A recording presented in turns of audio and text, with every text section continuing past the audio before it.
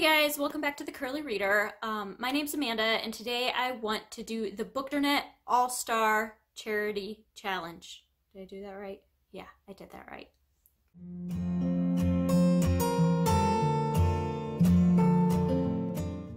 All right, so this is something that Rachael Marie is doing. She started it from her channel. I will leave her links and the links to all of the details down below. But basically, long story short, she is doing this to raise money for charity.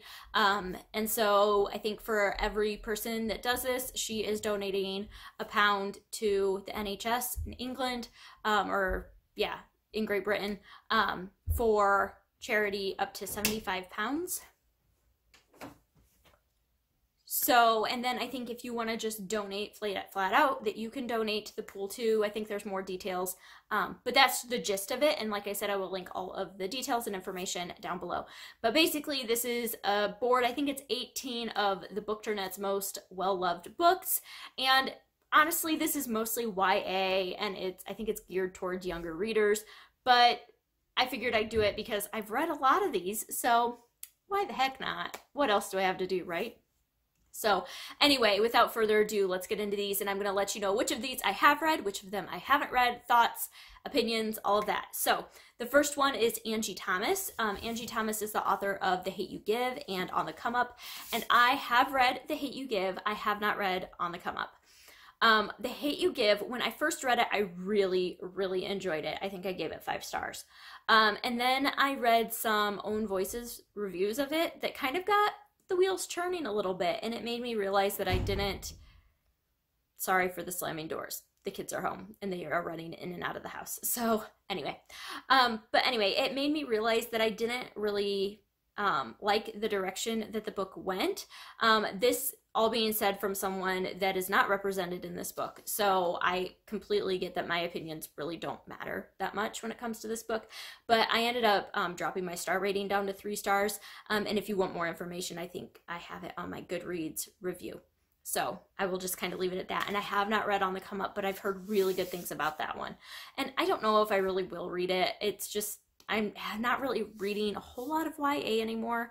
Um, and it hasn't really struck my fancy as far as like pulling me in, but um, I did, like I said, I have heard of it and I have heard good things about it if that sounds like something you're interested in. All right, the next um, one is the Shatter Me series by Tahereh Mafi. Um, I have not read these. I have no desire to read these. Um, it's just kind of, I know these are kind of older, the original ones are anyway, and nothing about them has called to me or spoken to me or like I just never really got on that train. The next one is Leigh Bardugo, and I have read all of her Grishaverse books except for Language of Thorns, which is her like fairy tale short story kind of compilation. I read a couple of them and then I DNF'd it. Not for any specific reason, it just wasn't really my thing. Um, I really enjoyed The Shadow and Bone, the Grishaverse trilogy, and the Six of Crows duology. I loved.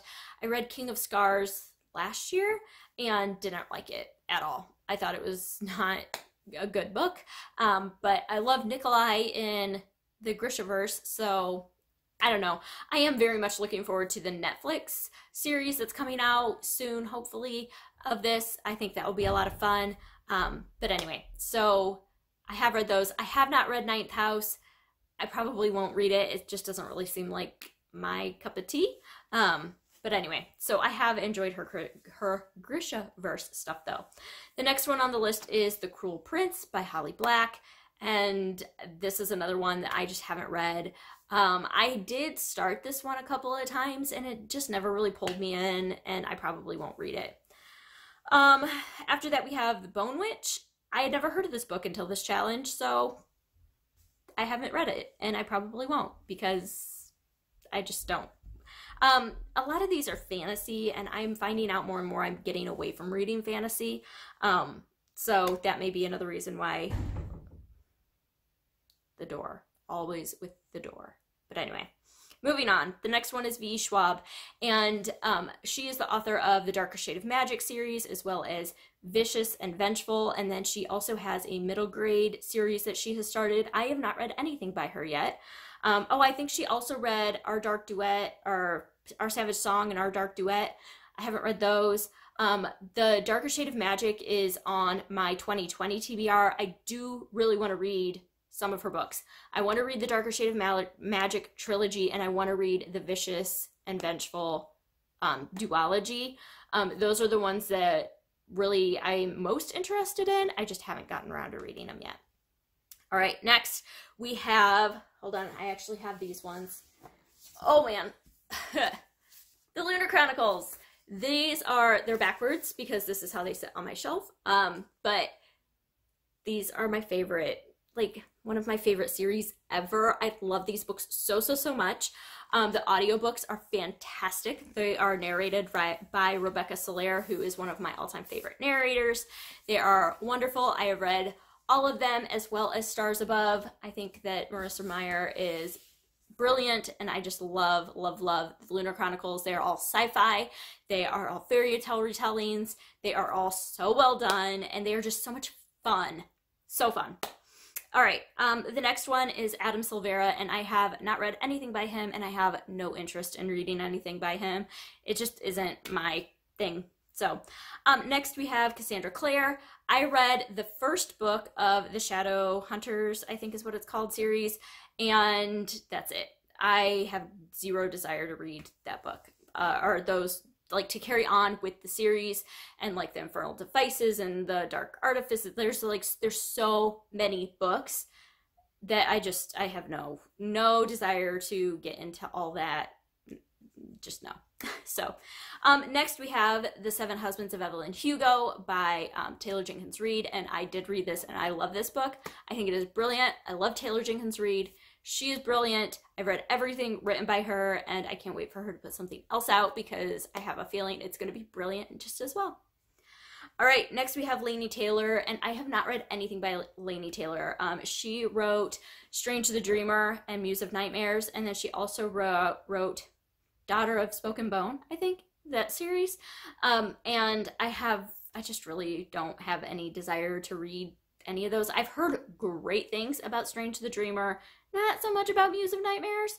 Um, but I don't know. I just I not my thing.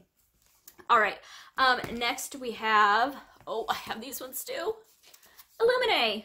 Um, I have all of them. I've read all of them. I love all of them. And believe it or not, for being such a huge audiobook fan, I have not listened to the audiobooks of these. I read all of these because they are all written in like multimedia format and they are amazing and wonderful, and everybody should read them. Um, I know a lot of people love the first one and like after that kind of fell off the wagon and didn't really care for them. I loved all of them. I thought all of them were brilliant and yeah, read them if you haven't. They're fantastic. They're all sci-fi.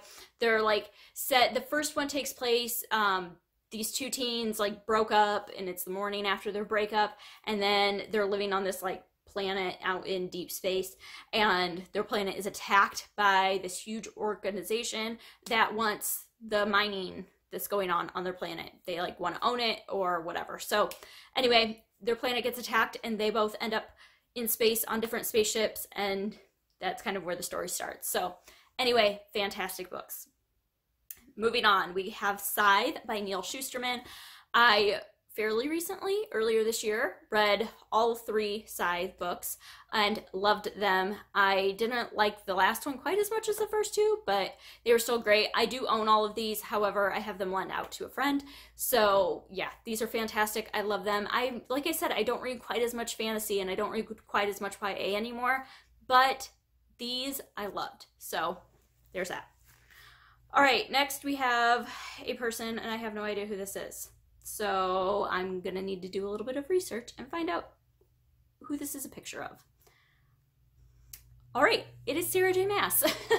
um, that's the thing with this. I have this on my tablet, but um, it's either a picture of the book or it's a picture of the author. And a lot of them I know, mostly from reading, watching other people's videos of this.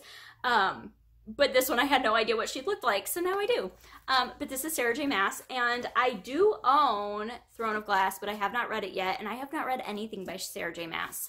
Um, I'm trying to convince myself I need to read this, but I have yet to do it. I've heard that her um, A Court of Thorns and Roses, or I don't know if that's the first one, but anyway, that series, that trilogy is actually better than Throne of Glass. Um, but either way, they're both fantasy YA, and that's not really my jam.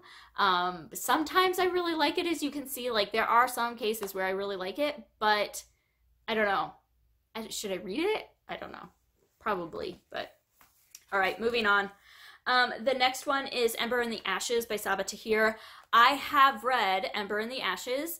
I did not continue the series. I probably won't continue the series. It was fine. It was a great book. Great book. Um, it was a fine book. Um, it just didn't really pull me in enough for me to want to finish a series. So, but I did read it. It was decent. Um, the next one is Seanan McGuire, and Seanan McGuire wrote the Every Heart a Doorway, I think is the name of it, series. It's a bunch of novellas. Um, she also wrote um, Middlegame. Um, no, yeah, I think it's Middlegame. Now I can't remember. I'm doubting myself now. Um, but so yeah, I have not read anything by her. I am most interested in reading Every Heart a Doorway. I've heard mixed things about it, um, but they're short enough that I've heard that they're fairly quick, obviously fairly quick to get through if they're so short. But um, they are about like kids that come back from other worlds. So like um, Alice in Wonderland or the Chronicles of Narnia kids or you know whatever, and they come back and then they go to the special school to like deal with being back in the real world. Um, kind of like therapy, I'm guessing. I don't know. Um, but it's about that. So, and that sounded interesting to me. They've been on my TBR for years. I just have never gotten around to reading them. All right, next we have The Poppy War, which is a I don't know if it's YA or not, but it's a fantasy and it is a chunker, and I have zero interest in reading it. I just not huge on fantasy. Um, and then the last one is To All the Boys I Loved Before by Jenny Han. Um, I have read all three books in this series. They were fine. They were like three star reads for me. Nothing great, nothing awful, easy to get through, teen angst stuff. But they're about um, a girl who basically writes letters to all of her unrequited love interests in school and keeps them in a shoebox, and then they accidentally get mailed out. And she's kind of dealing with the fallout from that. That's the first book, and then it goes from there. So, anyway, that is it those are all the books that were on this list. I can think of a few more that I think probably could be added, but no mind. Um, I think that it was a good list to, these do cover a lot of books that are talked about a lot on booktube um, and yeah these are i've read like i said quite a few of them have no interest in reading some of them and a little bit of interest in reading others so Anyway, I hope that you enjoyed this. Check out Rachael Marie's channel and all of the information about the charity um, donations down below. And yeah, other than that, I hope that you enjoyed this and I hope that you stick around and subscribe. And until next time, see ya.